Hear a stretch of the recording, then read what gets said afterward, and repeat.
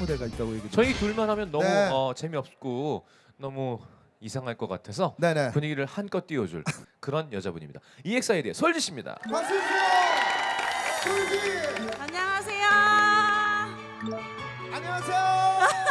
안녕하세요. 유엑스의 솔주입니다. 반갑습니다.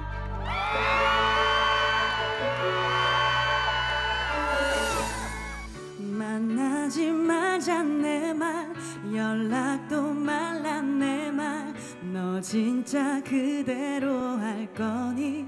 그게 아닌데 이대로 끝일까봐 널 영영 잃을까봐. 점점 더 맘이 불안해져. 너무 슬퍼져.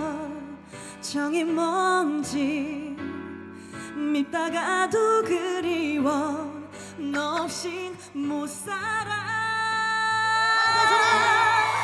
Give me your call baby baby 지금 바로 전화줘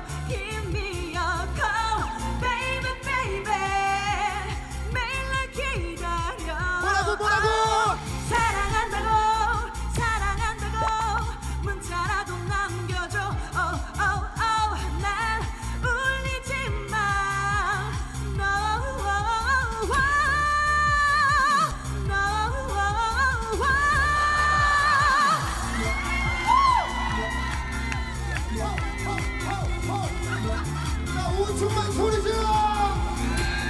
차차.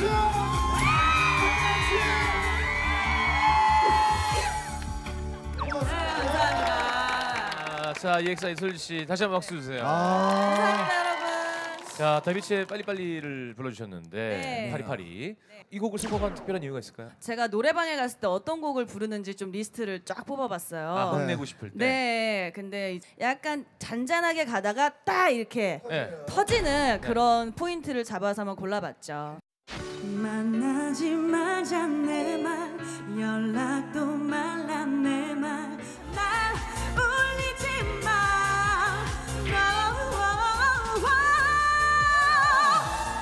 잡았네. 왜냐하면 이 노래 같은 경우에는 네. 녹음음이 조금 약하신 분들은 사랑한다 고에서 못 올려요. 어. 그래서 어떻게 하나요? 사랑한다 고 이게 약간 밑으로 내리는 경우가 네. 사랑한다 고 이렇게 하시는 분들이 있는데 네. 시원하게 올리네. 아 그럼요 올려야죠. 아. 네.